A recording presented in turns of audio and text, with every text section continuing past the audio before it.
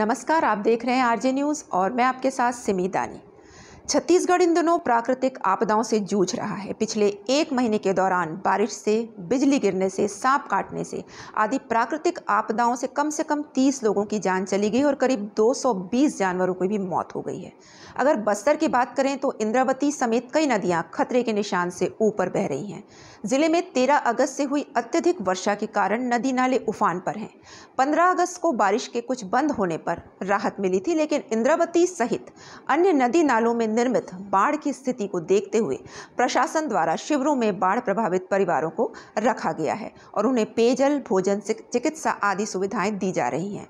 जगदलपुर शहर में वर्तमान में पनारा पारा उत्कल भवन, भैरमगंज पुत्रीशाला भगत सिंह स्कूल, बस्तर तहसील के मधोता में भाटापारा प्राथमिक शाला और अटल समरसता भवन, लोहंडीगुड़ा तहसील में कुम्हली प्राथमिक शाला और उसरी बेड़ा स्थित अटल समरसता भवन में बाढ़ प्रभावितों को रखने की व्यवस्था की गई है।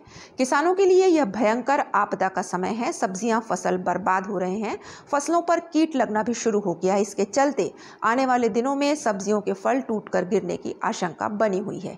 किसान चिंतित हैं। बैगन, भिंडी, लौकी, कद्दू, करेला, बरबट्टी, मिर्च आदि की फ़सलें बर्बाद हो रही हैं।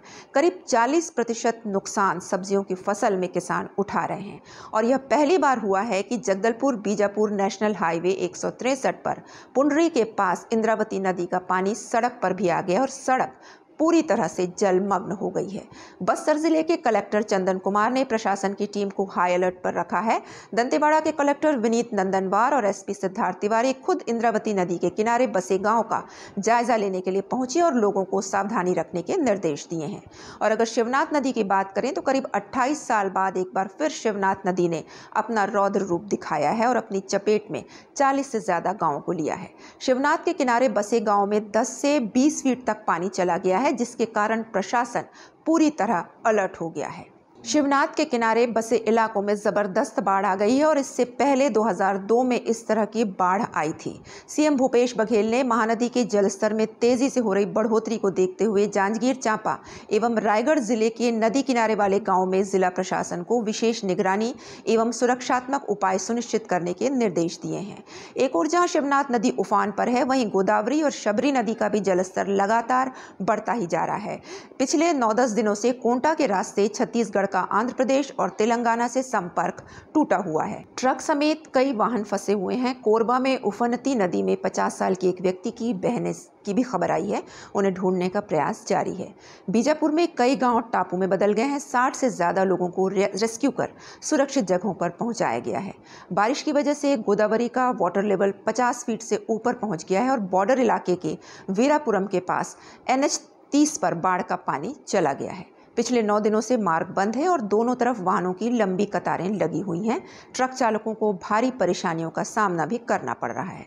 उड़ीसा के हीराकुंड डैम से भी पानी छोड़ा जा रहा है, जिससे गोदावरी और शबरी में जलस्तर बढ़ने लगा है।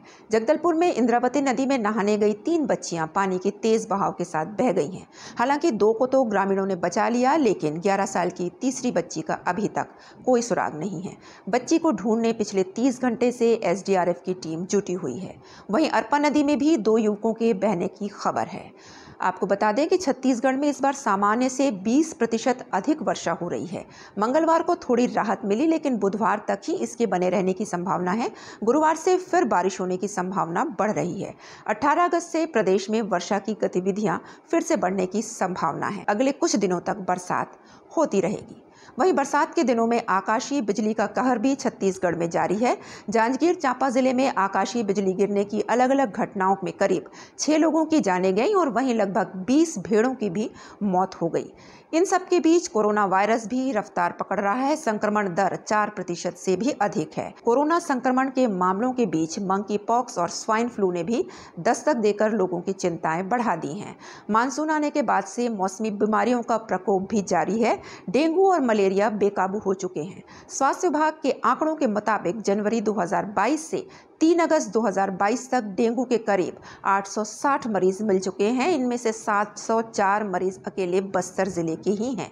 यह आंकड़ा काफ़ी खतरनाक है। यह पिछले तीन सालों में सबसे अधिक मरीजों का आंकड़ा है। 2020 में पूरे साल भर के दौरान डेंगू के केवल संतावन केस मिले थे और 2021 में जनवरी से सितंबर के बीच 740 मरीज़ मिले थे, जबकि इस साल जनवरी से अगस्त की तीन तारीख तक करीब 860 मरीज़ मिल चुके हैं। वहीं तीन लोगों की जान भी जा चुकी है। वहीं मलेरिया ने भी अपना खतरनाक रूप ले लिया है और सबसे अधिक प्रभावित बस्तर जिला है। स्वास्थ्य विभाग पिछले कुछ सालों से मलेरिया उन्मूलन का बड़ा अभियान चला रहा है। इसके तहत गाँव-गाँव में स्वास्थ्य विभाग की टीम पहुँच लोगों के रक्त का नमूना ले रही है और उन्हें मलेरिया की पुष्टि होने पर दवाई आदि दी जा रही है। साथ ही मच्छरों की रोकथाम के उपाय भी किए जा रहे हैं और सरकार का दावा है कि मलेरिया की दर कम भी हुई है।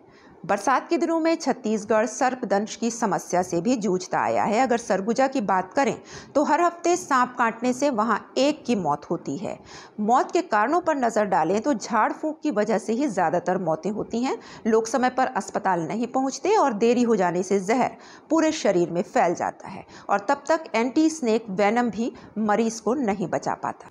सरगुजा ही नहीं, बारिश के दौरान कोरबा भी नागलोक बन जाता है। ऐसे में लोगों को जागरूक करने के साथ ही ज़िले में लगातार बढ़ रहे सर्पदंश मामलों के मद्देनजर अब स्वास्थ्य विभाग ने 108 संजीवनी एक्सप्रेस में भी एंटी स्नेक वेनम रखने की व्यवस्था कर रखी है। पूरे भारत में बेहद चुनिंदा जगह दुनिया के सबसे जहरीले सांप कोबरा की मौजूदगी है और इन्हीं जगहों में कोरबा का नाम भी आता है। चिंता की बात यह है कि बरसात के दिनों में अब रिहायशी इलाकों में भी कोबरा को रेस्क्यू किया जा रहा है। अगर तुलनात्मक स्थिति को देखें तो कोरबा ज़िले में सर्पदंश के मामलों में रिकॉर्ड तोड़ बढ़त आई है। 2021 में, जहाँ करीब 960 मामले सामने आए थे सांप काटने के और 50 लोगों की मौत भी हुई थी। 2020 में कुल तीन सौ तिरपन केस सामने आए थे। बहरहाल समझने की यह ज़रूरत है कि भारत की प्राकृतिक संरचना में जंगलों, पर्वतों, नदियों, समुद्रों का बहुत महत्व है। असंख्य लोगों की आजीविकाएँ इससे चलती हैं, लेकिन जब प्रकृति में असंतुलन की स्थिति होती है, तभी यह आपदाएँ भी आती हैं। अभी तक के लिए बस इतना ही। आगे की खबरों के लिए आप जुड़े रहिए आरजे न्यूज़ के साथ। नमस्कार।